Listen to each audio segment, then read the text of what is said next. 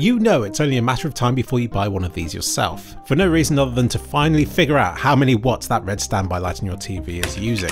I'm just that little bit ahead of you because I've got mine already, and I spent many happy hours the other day plugging stuff in and measuring how much power I was consuming.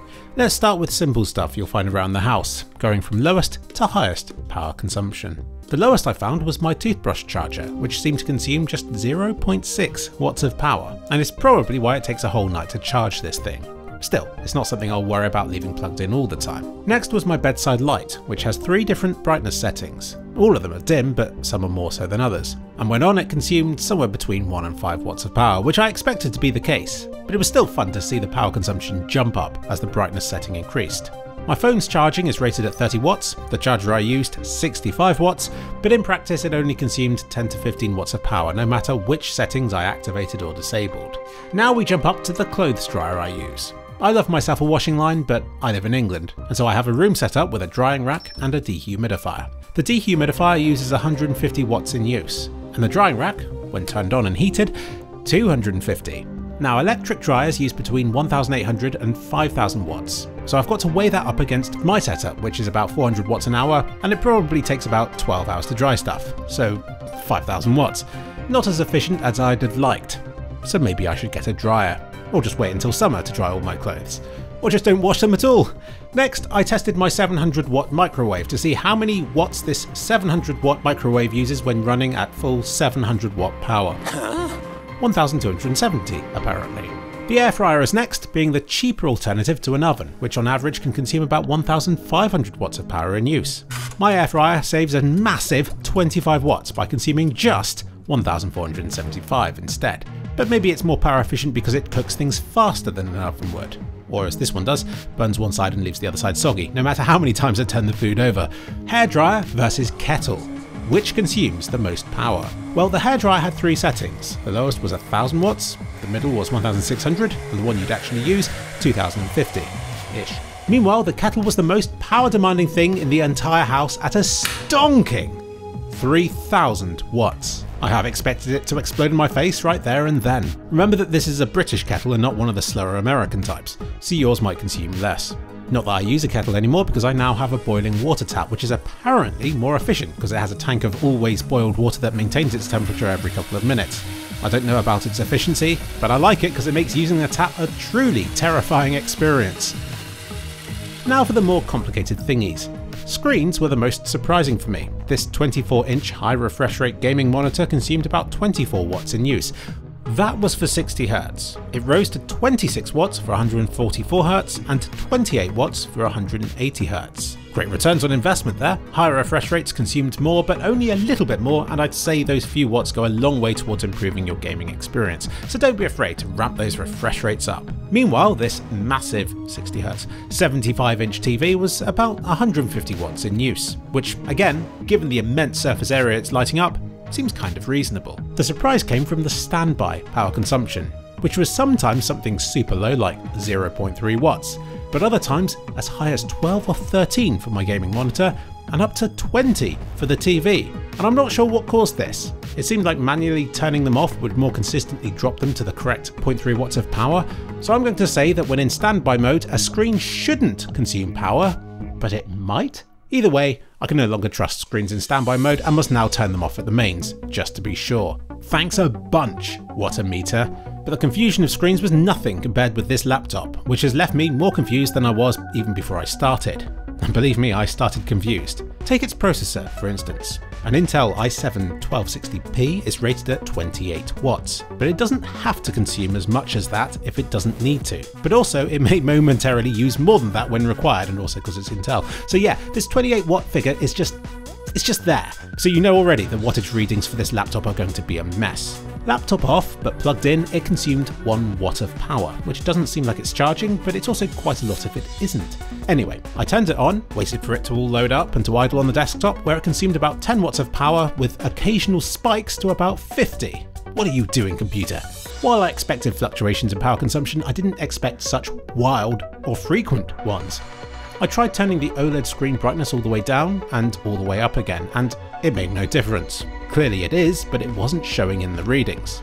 I'm going to assume that because it has a battery, the laptop has a hard time deciding whether it wants to use that or the mains power, and so it ends up being inconsistent and weird about it. Because I know for a fact that the battery drops much faster when the screen is on full brightness, because obviously it will do, so it has to be consuming a lot more power when the screen is on full brightness.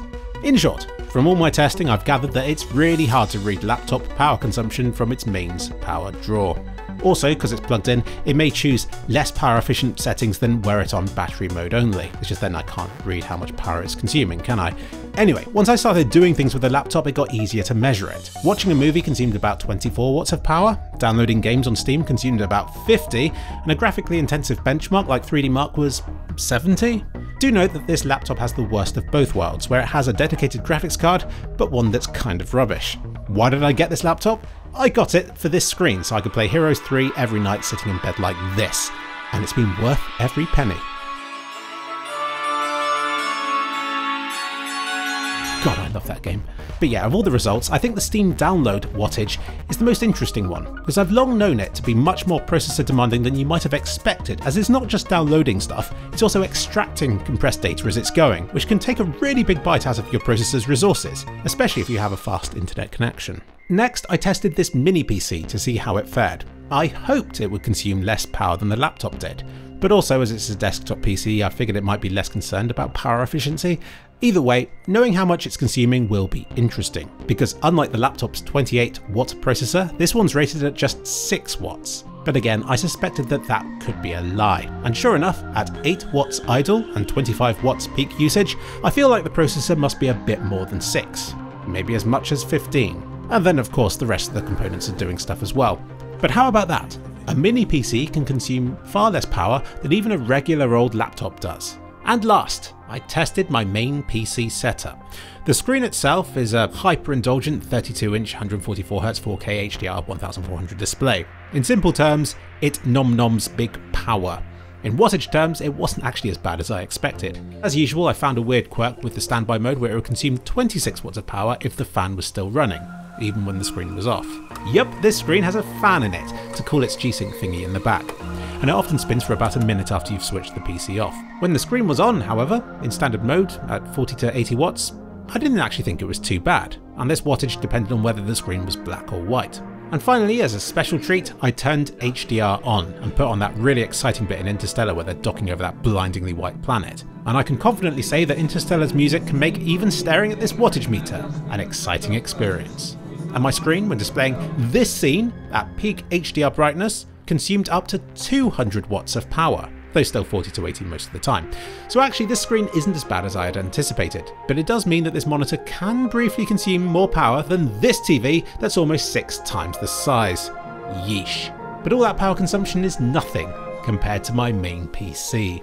Here are the specs. If you don't know your PCs, this will mean nothing to you, but if you do, you're probably a bit mortified right now.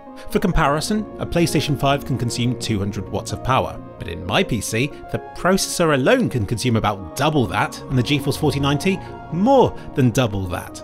Add the other stuff you find in a PC as well, and you're talking lots of power, and not necessarily in a good way. But I have a secret. Back in the day, you used to be able to overclock your processor to get more performance out of it. These days, processors overclock themselves to some extent. The AM4 standard maxed out at around 100 watts, AM5 200, while with Intel these days you think it's hit a limit and then they release a newer processor that goes even higher again. Some of them now hit like 300 or 400 watts. It's all to squeeze out an extra percent or so out of the performance, but at such a terrible cost of power efficiency that it's all but essential that you underclock these to a level that you can cool effectively. So I've set my power limits a lot lower. I still get most of the performance, but at less than half the original power consumption. When sitting on desktop on my main PC, the PC was still consuming 90 watts of power. Now I don't know what's eating that. I guess it's all just par for the course for a PC full of full-size, high-performance parts. Please don't explode. I then put a video render on and my PC consumed about 285 watts of power, which is more than I would have liked it to consume.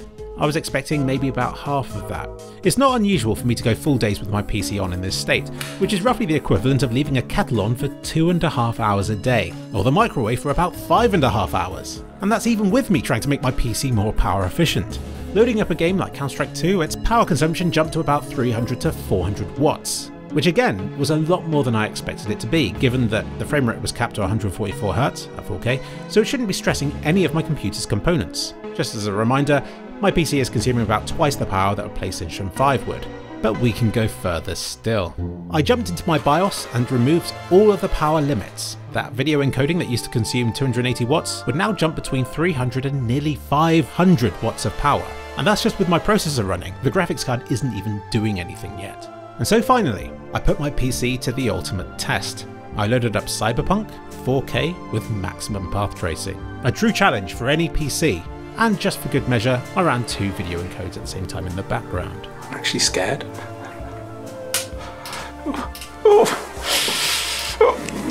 And what ensued was the most terrifying minute of my year so far, as my PC alone spiked between 750 and nearly 900 watts of power. Add to that my nearly 200 watt screen, and we're talking almost the power of a microwave, simply to entertain you for this video. Am I the sort of person to care about power consumption? Yes, because I pay for it, and because I live in England where electricity is really expensive. But I also care about it because I do hate waste. Even this minute I spent stress testing my PC felt so incredibly wasteful. Yeah, that's nothing compared with the decades I've been using PCs for already, and the thousands of hours I've left them idle for, blissfully unaware of just how much power they're consuming. These days, there are alternatives. I could be getting by on my mini PC most of the time, or playing most games with a 30 watt Steam Deck, or I could just be using a 200 watt console instead. Yet here I am, right on the cutting edge, where I like to be, but I'm paying the price for it in just about every way imaginable. And to think, it's just as well I upgraded my power supply. For path traced cyberpunk with rendering in the background, maybe I can justify this display of excess once in a while. But now that I'm armed with the data, I am going to go to efforts to try and be more energy conscious, and to start using my hardware in greener and more sustainable ways. And the first sacrifice I'm going to make is to start playing a lot more Heroes 3 in bed.